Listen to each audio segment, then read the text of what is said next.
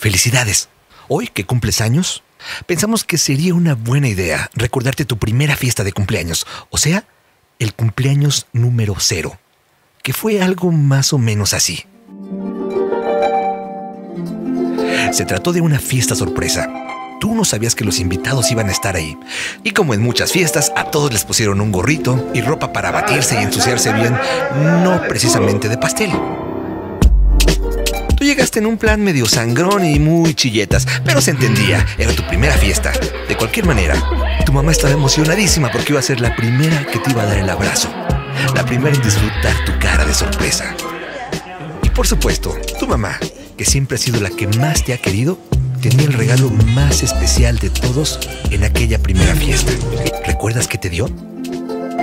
Te dio a luz. Sí, te dio a luz. ¿Cuándo te han vuelto a dar a luz en una fiesta?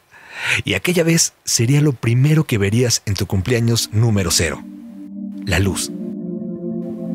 Y sería un regalo de por vida.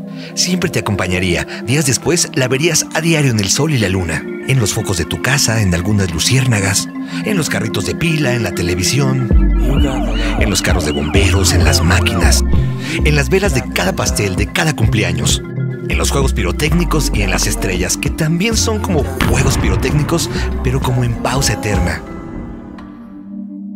Luego aprenderías a ver la luz en formas más misteriosas, como en los ojos de las personas que amas.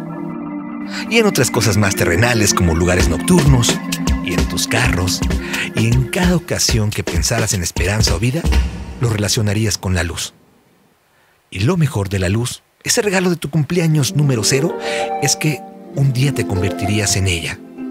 Porque resulta que si alguien te ha mandado esta felicitación por la luz eléctrica, la luz de tu monitor, es porque tú representas luz para esa persona en su vida. Feliz cumpleaños.